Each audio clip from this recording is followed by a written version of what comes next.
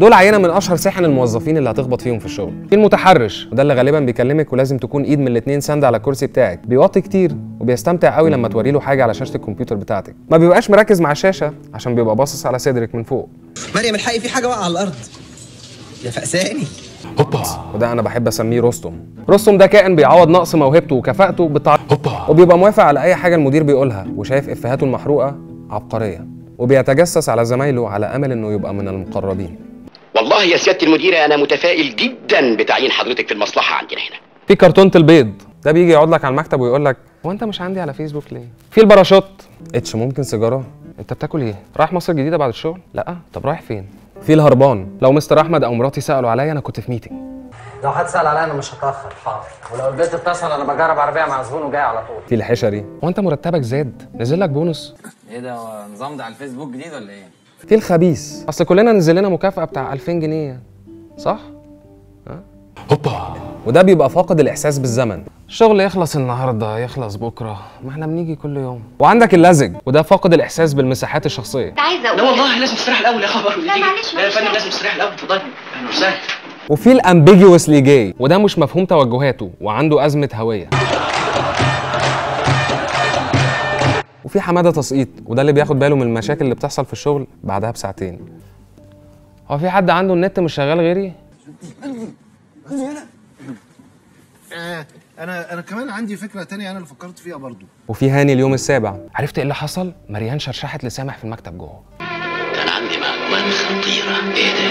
معلومات تشيب في تامر إشمعنى؟ هو إشمعنى ال office boys يعني بينزل لهم تيشرتات؟ أسامة منير؟ تعالي يا شيرين. جوزك شكله مزعلك. احكي لي. طبعا.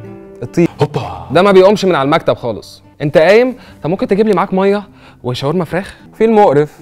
جماعة حد جعان؟ مراتي عاملة لي سندوتشات حمار بانيه وبيض مخلل. البرجوازي. وده الشغل بيبقى مرحلة انتقالية في حياته وبينتهي في الآخر بإنه بيشتغل مع أبوه في المصنع. بس فاتخانقت معاه قلت له بص يا بابي بعد شقة الزمالك والعربية أنا مش عايزك تدفع لي حاجة تانية في حياتي غير سفرية لندن. على فكرة أنا صايع جدا ما وريش أي حاجة. الكادح إزاي بيحملونا جنيه ونص دمغات هو المرتب فيه كام جنيه ونص؟ اتخصم مني تسعة أيام. وفي سماعات. ده بيبقى انطوائي شوية؟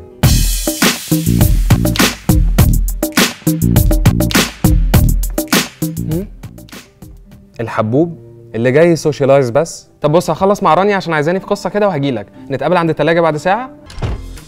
وديع وصل يا بنات. أوه وديع؟ انت فين يا وديع؟ وحشتني. المهم اللي فاكر نفسه مدير. ابعتوا لي أنتوا ميل وأنا هتكلم مع مستر شريف الزهقان. تيجي ننزل نشرب سيجارة. حبيبتي سعاد السهلة. هو انت عايش لوحدك؟ تعالى جنبي. ها؟ هنا. طيب. تعالى جنبي. قوي قوي تاكس تاكس وفي حسام هرمونات. هوبا. شايف مروة لابسة إيه؟ وفي سامي وضوء وده شغلته انه يروح الشغل يتوضى بس. وبيكلمك دايما وهو بيشمر كمامه.